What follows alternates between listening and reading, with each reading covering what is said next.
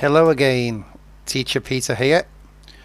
In the next week, I will be uploading a lesson on philosophy for anyone that's interested.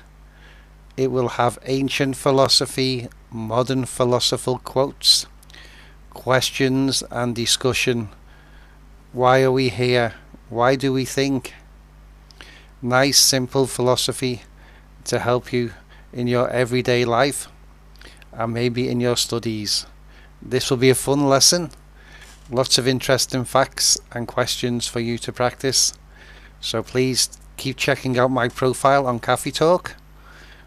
There's new lessons coming all the time, and at the moment, there's discount if you can catch me on standby. I have a standby lesson for free talk, or if you want a lesson, I have business English for adults Daily News, Oxford Reading Tree for Children, and Fly Guy, what the little guy, little students love. So hope to see you soon on Cafetalk.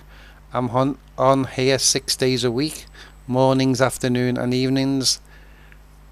You can always book me anytime. Thank you for watching. See you soon on Cafetalk. Bye bye.